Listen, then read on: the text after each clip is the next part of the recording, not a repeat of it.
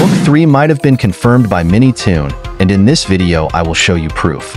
But before we get into this video, make sure to like and subscribe for more awesome Piggy content. Anyways, let's get into this video. Okay, so I know I'm a little late, but yesterday I2R team made a very interesting tweet. It said more than meets the eye, and they wrote a hashtag with scramble words. Now thanks to the Piggy News account they solved it, and it said, Piggy's newly discovered book. And Piggy News said Piggy Book 3. Now you might be thinking, Remify, this is for the Lost Book. But guys listen, the Lost Book isn't canon, which means this is about Book 3.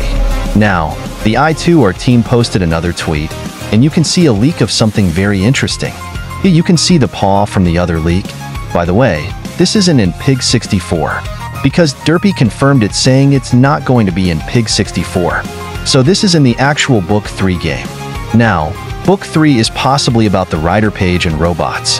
So Book 3 can possibly be based off the 70s or 80s. Are you guys excited? Let me know in the comments down below. Have a wonderful day and I will see you guys in the next video.